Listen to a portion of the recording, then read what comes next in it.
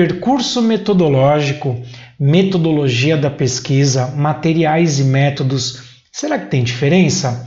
Neste vídeo eu vou lhe dizer se tem diferença ou não entre o capítulo do TCC que você deve escrever, o seu percurso metodológico ou a sua metodologia da pesquisa ou seus materiais e métodos.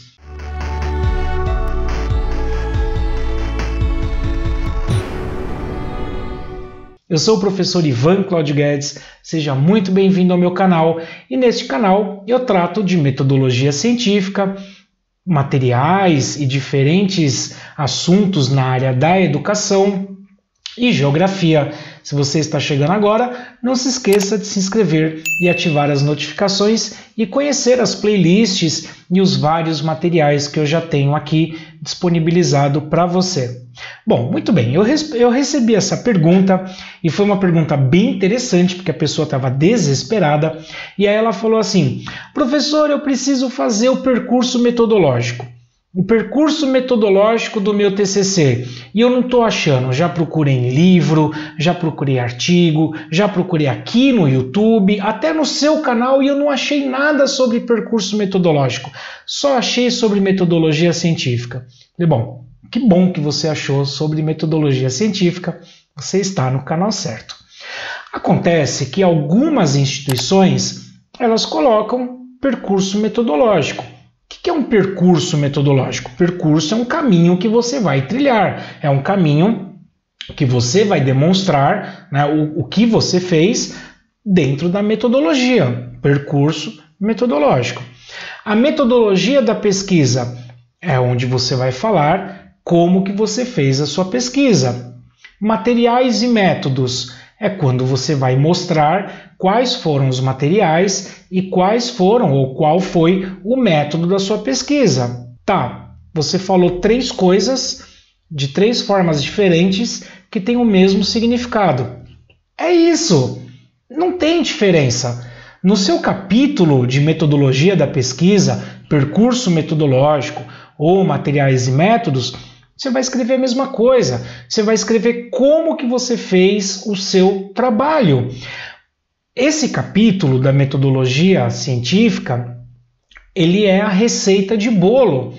Você vai ver essa denominação na sua faculdade, como que eles chamam isso, e aí você vai fazer a sua receita de bolo.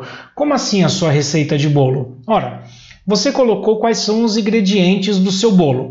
Preciso de farinha, preciso de sal, preciso de açúcar, preciso de tantos ovos, né? não se esqueça de colocar também quantos gramas, é, preciso de baunilha, preciso de maçã, você vai colocar os seus ingredientes.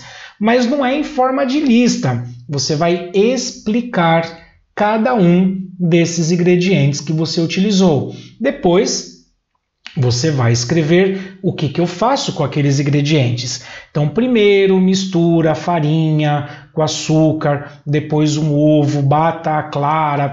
Você vai explicar como você manuseia esses, esses materiais, né? até você chegar no seu bolo, mas você não vai apresentar resultados. Apresentar resultados é um outro capítulo.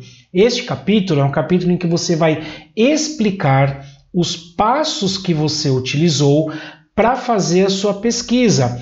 Então, para te ajudar na redação, você pode colocar em forma de tópicos o passo a passo do que você fez e aí depois você vai explicando, você vai escrevendo para não perder a ideia, né?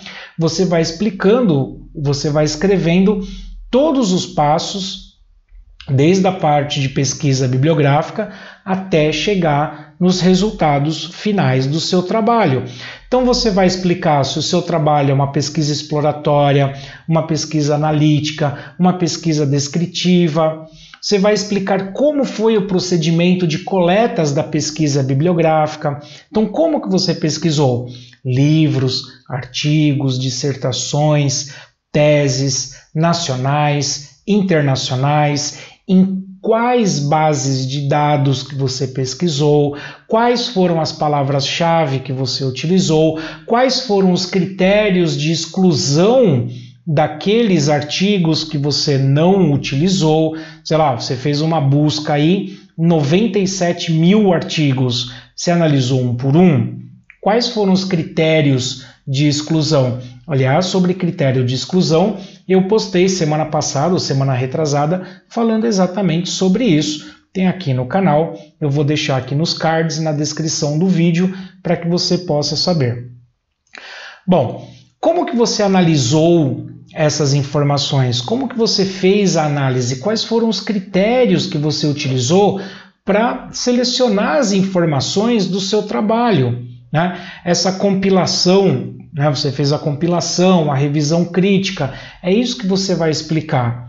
Vamos supor que você fez um questionário. Como que você montou as perguntas? Com base em quê? Com quais interesses? Quantas perguntas? Abertas, fechadas, estruturadas, semi-estruturadas? Também tem vídeo aqui no canal falando sobre procedimento de entrevista. Né? O que mais? Sei lá, vamos supor que você fez pesquisa de campo. O que, que você foi fazer no campo? Como que você escolheu aquele lugar? Quais foram os critérios que você utilizou para escolher aquele lugar? Como que você integrou e analisou esses dados? Você criou gráficos? Com qual software? Ah, você excluiu os sujeitos da sua pesquisa? Por quê? Então, assim, para cada metodologia de pesquisa existe um procedimento.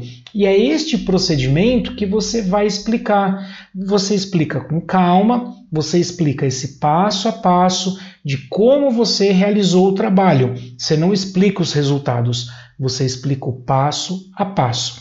E para te ajudar no passo a passo, eu tenho um vídeo já até um pouco mais antigo, mas assim, não tem a necessidade de regravar este vídeo, porque ele está bem amarrado no passo a passo do que você deve escrever, e eu vou deixar aqui, aqui, tá? Ele está aparecendo agora aqui, e eu também vou deixar na tela final este vídeo com passo a passo para você escrever corretamente o capítulo do seu TCC que vai falar sobre a metodologia científica ou o percurso metodológico ou materiais e métodos.